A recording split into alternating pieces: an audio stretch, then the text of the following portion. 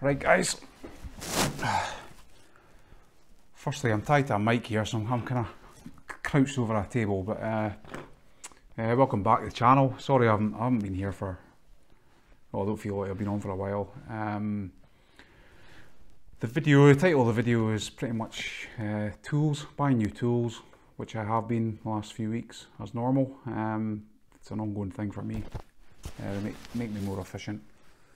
Um, so it's tools, what I've been up to, what's coming up, uh, what else?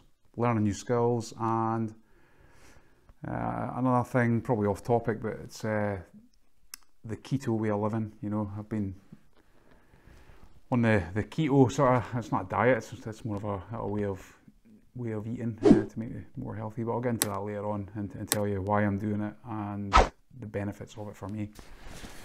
But anyway, um, uh, I do. I've, I've, bought quite a lot of tools recently, as I've just said. Uh, I'll, I'll, go through them separately. I'll go through them one by one, uh, just quickly, just a quick run through of what I've bought and why I bought it, in cases of any interest to anybody.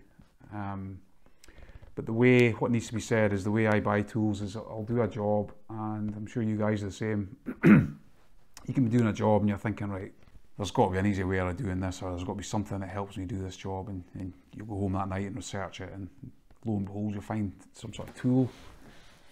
You know, whether it's watching YouTube videos or looking on eBay, Amazon, anything like that, there's always a tool for to make a job easier. Um, so I'm, I'm quite addicted to that actually. Um, I always look for tools that will make my life easier. That's one thing. Uh, the other thing is learning new skills. Again, I'm the type of person, if I come up against something I can't do it, I get I get fairly frustrated, uh, which is it's not a good, maybe not a good thing. Um, but for me, I'm not one of these people who can do the same thing day in, day out, and just be bored. You know, um, I always try and learn new skills. You know, it could be a really simple skill, or it could be a really complex skill, uh, which takes months. You know, even years to learn sometimes. Yeah, but that's that's what keeps things interesting for me. Uh, so it's learning the new skill, learn getting the new tools that you need to, to you know, accomplish that job. That's what makes this job fun for me. And I'm sure you guys the same. Uh, but in this particular video, this the skill that I'm look at, I wouldn't say looking to learn because I do know how to do it, but it's it's it's more to perfect, uh, and it's the, the kitchen worktop mason's miter, which is pretty much where you fit the two worktops together, you know, neatly, uh, so you can't see the join. Uh, sounds simple, but it's not. it's uh, it's not a simple skill. Um, I mean, it's simple to do the basics, but if walls are out of square and things like that, it can can be quite tricky. Uh, so I'm practicing that at the moment. I bought the tools that I need. I've bought the jigs, the routers, the router bits, uh, things like that, which I'll, I'll, get into later on. So that, that's predominantly the skill. Um, well, saying that, I, I learn loads of new skills all the time, but that's the one I'm going to concentrate on this video. Uh, next thing is where I've been. Uh, as I've said, I've been the last three weeks here in the UK. COVID, the COVID situation, the, the rules were relaxed slightly about three weeks ago, so I could actually go back into properties. Um, I've I've been tending to avoid going into properties just because of the hassle and I couldn't be bothered with it to be honest. I had lots of outdoor work which I could do no problem, you know, without any contact. Um, but now the, the rules have been relaxed. I've got a backlog of, work, indoor work. So the last three weeks I've been doing a, a property renovation. Um, it's a rental property which is currently an HMO, which is a house of multiple occupancy. Uh, which was a three bedroom property and with a kitchen, a bathroom, a shared kitchen, shared bathroom, and three separate bedrooms, which are treated as their own separate units. Uh, but the, the job I've been doing is uh, converting it basically into a three bedroom house so it could be rented to a family as opposed to an HMO. Um, the funny thing about that one is uh, there was one existing tenant left in that property and he was on night shift so whenever I was going around during the day this guy was sleeping you know all day and here's me traipsing about with uh, circular saws, impact drivers, you know, the things. Just a crazy situation. Just if you ever if you ever tried to be quiet using a circular saw in the property, um, it's uh, impossible. Anyway, what I'm trying to say, that's the job I've been on, but I couldn't really film because it was just uh, just a, a, not a good situation. So got the job done. Um, that's it, finished. I'm out of there now. So forthcoming work. Um, this coming week, I've got another renovation, um, which is a three-bedroom flat. Uh, tenants have just not long moved out, and it's just a refresh job. So it's go in, paint the whole place. You know, magnolia, white ceilings. Just get it neutral, fresh. Uh, there's a couple of uh, tile repairs to do in the bathroom, resealing the bath, things like that. Uh, small little jobs. Bathroom cabinet, I think, to hang, lights to fix, just silly things. But I'll try and film some of that going forward. Um, after that one, I've got a lot of fence work coming up. Then lastly is the, as I said, the keto diet. Um, for me personally, I'm 47 years old now.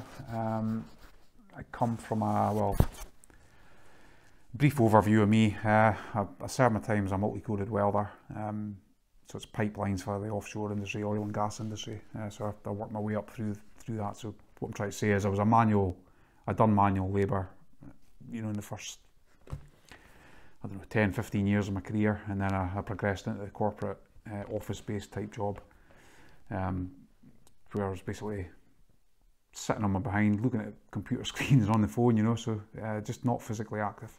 So what I'm trying to say here is, coming back into this industry after coming away from the corporate side, is I've noticed a big difference with my fitness levels and especially when I'm fencing, you know, it's really hard graft. Um, so I just thought it was about time. I need to lose a bit of weight. I need to eat a bit healthier. Um, I was the world's worst, you know, Mars bars, uh, crisps, just the, the, world's worst diet, just terrible. You know, when you're on the go and on the move, you just tend to eat convenience food during the day. But now I get up in the morning, I don't have breakfast, I don't have lunch, I just have one meal a day.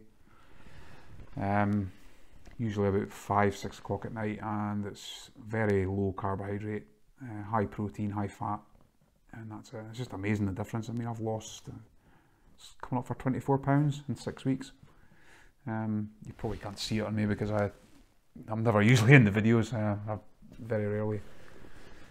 Um, but I feel a lot better. Uh, my mind's a lot clearer, more energy. It's just I would recommend it to anybody. So it's the keto, low carb uh, thing. As you get older, you tend to get more. I would say more conscious about your health. You know, when I was in my 20s and 30s, you don't give a monkeys, you know, you drink like fish. I used to smoke 40, 50 a day live a bit of the party lifestyle really. Um, but as you get older, and I've, I've, obviously got a young daughter now as well, um, you tend to you tend to change a little bit. Um, so sorry, a bit off topic, but I just thought we'd get that in there as well. One of the first things I bought recently was the this is a Bahco mini socket set. Now most most of my Veto bags I use the Toolcheck Plus if you've seen any of my other videos, but this can be limited sometimes because the the ratchet is so small. Yeah, so the Bahco socket set. Excuse my hands, this is actually the day after I'm filming. I've been doing that renovation today. I've been, there's more paint on me than there is on the walls, I think.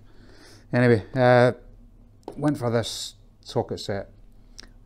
As I explained earlier, I've got Toolcheck Pluses in nearly every Veto bag I own, because um, these are these are great. But I have had a couple of occasions where I could just do with a, a slightly larger ratchet. I'll show you the difference here. Here's the ratchet, it comes with the Wera tool check and here's the one that comes with the Bahco. It's just slightly larger, more robust. So for heavier applications, it's it's got its uses. Um, you know, also comes with its a handy extension. It's pretty much the same standard size bits as the the Toolcheck Plus. Next thing is just I was just doing that job as I said last week. Uh, well, the last renovation I've done for the last three weeks, um, I was mucking about with kitchen sinks and stuff. Uh, just ran short of extensions, so just bought a couple of extensions from Wera. Nothing to see there, just quarter inch extensions uh, for my impact driver. But they're good. One thing I bought and I'm really pleased with is the, you know, I use these uh, Pica pencils all the time, automatic pencils. They're great for carpentry. Um, even tiling, things like that. But the this is the Pica Big Dry marker. It's a pencil marker again, but it's more like a carpenter's pencil. Okay, so the Pica Big Dry pencil. As I've said before, this is the, the pencils I normally use, which are the just the Pica automatic pencils, which act as deep hole markers as well. This is the, the bigger version, uh, which I can show you the difference. You can see the difference, it's the, the big dry shaped more like a carpenter's pencil, you know, the, the square lead, uh, rectangle lead, etc. So it's just a lot more robust. Um, so for heavier applications such as fencing or heavy duty carpentry, this is, in my opinion, it's a better pencil. It's just like, you know, you can abuse it a bit more. Whereas these are more intricate. Uh, still really good pencils. Uh, I, I just wear them all the time. I have them clipped onto my, you know, either my trousers, my, my shirt or whatever I'm wearing. So that's just great. Uh, there is a sort of secret, well, I'll show you to sharpen the lead on this one, it's just like a bit of sandpaper on the side here. Uh, you can just easily sharpen the lead. Um, and the Big Dry as well has an added bonus of, I don't know how useful this would ever come in, but it's a quarter inch hex uh, fitting on the end. So if you're ever in a pinch, you can fit a, you know, an impact driver bit or a bit to it and, and use it. doubles up as a screwdriver. Bit of a gimmick probably, but um, it does have that feature. Uh, another thing is the, obviously I said I just bought a new router, so I bought two Freud, um, I think they're 12 and a half or 12.7 millimeter cutters, uh, the ones that are special specialised for, for worktops. So a good deal on these at the moment in Screwfix, you get two cutters and a, a free set of jigsaw blades uh, for cutting laminate. Um, so pick that up. Another one is I've been doing quite a lot of plumbing last uh, in the last renovation there was a fair bit of plumbing work. Obviously I, I couldn't film it because of what I said about the tenant. Um, but one thing I've needed is a, a pipe reaming tool just for deburring copper pipe when you cut it. Uh, I had one of those cheap plastic things that you turn and I've, I've actually lost it. so I just thought it was about time buying a new one. Yeah, so I just went for this fairly inexpensive uh, deburring tool. Um, this is by Silverline. So basically you just put it in the end of the the pipe like this. Uh, give it a spin. This blade's razor sharp, so it just totally deburs the pipe. Um, one of the main reasons I went for this one, this is all aluminium, so it's good solid construction. And uh, the fact that these blades are inter interchangeable, so basically you just pull this back and the blade comes out. You know, so you can buy these in packs of you know, three or five really cheaply and then just you know, have a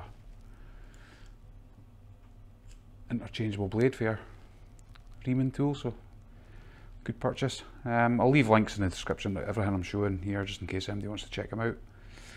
Uh, but I would certainly recommend this.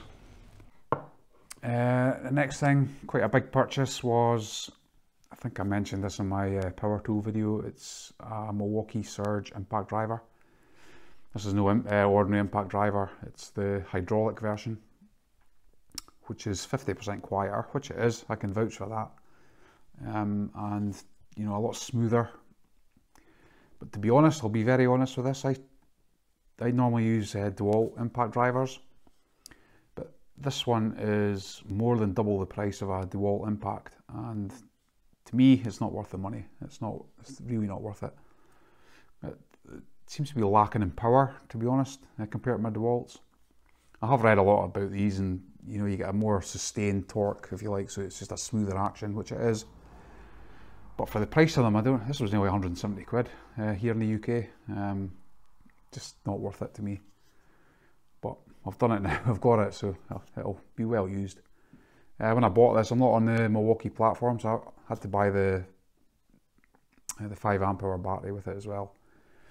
And I bought another, this is a Wera Rapidaptor, but it's a longer version. Um, that, I love these, I'll stick to these, it was just for this as well. So pretty much a new impact setup, um, which is okay, but in my opinion, not, not worth extra money. Uh, another thing is, this is just a jig. I've got a job coming up, there's a lot of door handles I need to do, and the holes that you drill need to be absolutely square for the type of handle I'm using. So it's just a clever little device from uh, Wolfcraft where you, you know, place it against the door and it keeps your drill really square. Um, I just I, I could make a whole video on that on its own, but I've got these special handles that the hole needs to be absolutely bang on square. If it's not, they just don't fit. Um, you know, so this is invaluable. Next thing is knee pads, something I struggle with all the time. I must have six or seven sets of knee pads. I tend to use the strapped version. Um, but, I mean, they're all good, but the, the straps dig into the back of my legs, you know, after wearing them for a long period of time. Uh, I, I, I wear the DeWalt work trousers a lot, so I bought these uh, pads to slip into the, you know, the knee, the knee joints, the, well, the knee pockets, if you like, on the on the trousers. I've only used them once, but uh, they're a lot more comfy than the, the strap versions. Uh, so pretty chuffed with those. Some of the bigger items I bought, uh, I bought a petrol breaker. Um, I do have a Titan breaker, but I have to rely on power at the client's house, which is not always ideal because a lot of the time when I'm fencing, there's, there's uh, the clients aren't in, so there's no power available. So I bought this uh, petrol breaker. Um, it's a pretty cheap Chinese version, but uh, it did come recommended by you know, a top company on Instagram, a professional fencing company who I've sort of been liaising with for a bit of advice. And they recommended it. So, yeah, so this is the breaker I bought. Um, I've used it, I must have broken up about, uh, I'm guessing about 50 holes already with it. You know, old uh, fence post concrete in the hole. Uh, this thing's immense, so powerful. I mean, it starts pretty much first time every time. But it's just the, the the whole thing with this is that you don't need power. You know, you can just go a, a, a little tank of petrol, uh, take it anywhere, and it just just does the job. Uh, it's just just a great tool. The other thing that I bought is a I don't know if you can see behind me actually. Uh, that saw there, which is a seven and a half inch DeWalt uh, miter saw. Okay, so here's my new seven and a half inch miter saw. just so compact and light. Um, that's what I love about it. Yeah just a great saw. Um, this is the reason I bought it because it's, it's totally portable, battery operated. So great, great little saw. As I was saying earlier, um, that I use these trestles, so it just these act as a you know a miter saw stand. It just clips on to the trestles that I use, so it's great. So I just store it, store it like that, and lift it off, and it's it's easily very portable. So great saw. We'll predominantly be using this for um, trim, you know, architrave, skirting boards, um, laminate flooring, trim, that sort of thing. Even some certain fencing uh, applications as well. It's just handy to have a saw that you can just pull about, you know. Yeah, as opposed to wheeling this uh, brute about. this is a big 12 inch miter saw from DeWalt, which is brilliant. Um, it's, this is actually the corded version I've got just for the power. Um, there's no need to be battery operated for me with this because it's just far too heavy to to carry about on site. Yeah, I don't do enough carpentry work to justify, you know, having a portable one. Um, so it's ideal for me. Yeah, while I'm here, I'll just demonstrate the blower and what the, the main reason I bought it. You know, you can see a miter saw, it's quite clean here actually, but um, you can just see how easily it is to clean with this blower. So I'll just demonstrate that.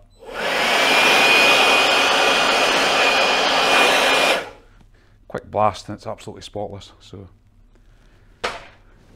Great bit of kit, even for blasting the back of the van out, you know, things like that, garage floor, just loads of applications, but great, great little tool this. Okay, so here's the worktop jig that I bought. It is the Trend KWJ700. Um, I've been playing about with this, uh, I was playing it with it the weekend, it just seems really good. Um, just a nice jig. Um, this is the router that I bought. As I've said, it's not it's not hugely expensive, but it's not one of the cheapest ones either. So um, it's, it's, quite a good router actually. I mean, from what I've used it, uh, good enough for my purposes anyway. Um, comes a nice case. So okay, so I got home today. I got a couple of packages in the post. As I was saying, I was filming last night the other part of this video. Um, so this is the the quarter inch router bits that I was talking about. Just cheap, you know, just for me practicing with. Um, you can see they're all over the place. This is how they came. Um, I mean, the package has obviously been jumping about, so I'll sort these out later. Um, and this is my main one. This is a half inch trend set.